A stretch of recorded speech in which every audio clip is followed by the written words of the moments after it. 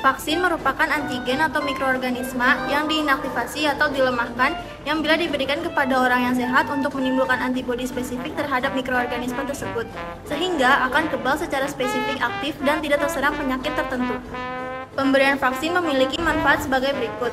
Yang pertama, menstimulasi sistem kekebalan tubuh agar menghasilkan antibodi yang dapat melawan kuman penyebab infeksi. Yang kedua, sebagai langkah pencegahan penyakit menular. Yang ketiga, melindungi dari risiko kematian dan cacat seperti pada penyakit rubella. Vaksin ditemukan oleh seorang dokter Inggris bernama Edward Jenner pada tahun 1796. Dia bersama John Pfizer pada akhir abad ke-18 menguji pembuatan vaksin untuk cacar. Makalah ilmiah tentang vaksinasi itu kemudian dipublikasi pada tahun 1798 bertajuk An Inquiry into the Causes and Effects of Viral Vaccine. Melihat dari sejarah perjalanannya, hal ini bermula dari Edward Jenner yang terinspirasi oleh laporan terkait pengobatan inokulasi yang dilaporkan oleh istri duta besar Inggris untuk Turki, Lady Mary Wortley Montagu. Jika menengok kembali pada apa yang dikerjakan Jenner, penelitian ini melibatkan metode inokulasi. Inokulasi rupanya telah dikenal dalam pengobatan Asia dan Afrika, yakni dengan sengaja menanamkan patogen, mikroba, atau virus kepada seseorang untuk menciptakan kekebalan buatan dari penyakit menular. Berdasarkan keterangan Lady Montagu, prosedur variolasi di Kekaisaran Ottoman ini melibatkan pemberian keropeng cacar bubuk atau cairan yang diambil dari pustula. Pustula ini merupakan benjolan kecil berisi nanah yang tumbuh di lapisan kulit seseorang yang terkena cacar. Sukutan ini diberikan kepada orang-orang yang belum pernah terinfeksi dan masih dalam keadaan yang sehat. Orang yang sehat ini akan terinfeksi sebagai efek samping, tapi akan berkurang secara signifikan dan menjadi kebal.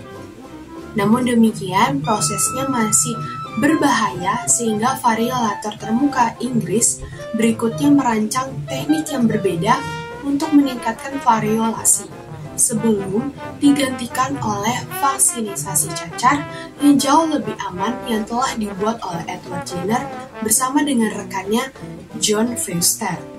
Vaksin cacar ini menggunakan uh, virus Vaccinia yang diduga merupakan hibrida dari variola atau virus cacar dan virus cacar sapi yang telah diteliti oleh Edward Jenner.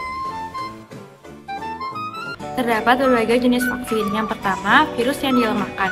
Vaksin ini dibuat dengan menggunakan galur strain, virus yang tidak menyebabkan penyakit atau menciptakan virus yang secara genetik lebih lemah dengan kemampuan replikasi yang terbatas. Selanjutnya, virus yang dinonaktifkan. Vaksin ini dibuat dengan membunuh patogen menggunakan senyawa kimia.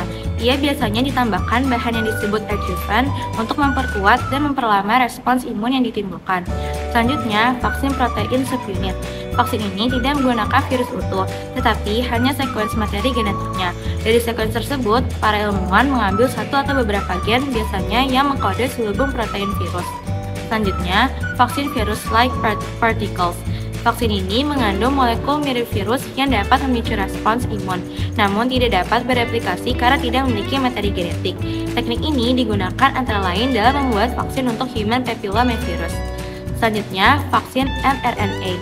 Vaksin ini menggunakan bagian dari sekuens materi genetik virus yang ketika dimasukkan ke dalam tubuh dapat membuat sel tubuh memproduksi antigen target sendiri.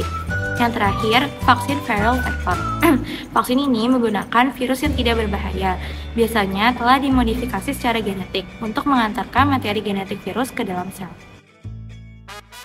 Sejarah vaksin juga kian terlihat berkat penemuan vaksin COVID-19 dalam melawan pandemi virus corona. Vaksinasi terbukti menekan penularan virus serta menurunkan tingkat komplikasi dan bahkan kematian pada orang yang mengalami COVID-19.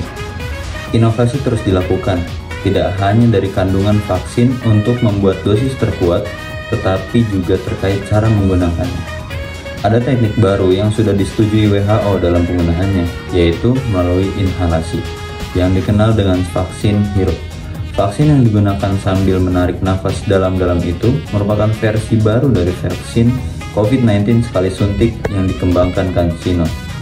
Vaksin sekali pakai ini pada Maret 2020 menjadi pertama di dunia yang menjalani, menjalani pengujian pada manusia dan telah digunakan di Cina, Meksiko, Pakistan, Malaysia, dan Hungaria setelah diluncurkan pada Februari 2021.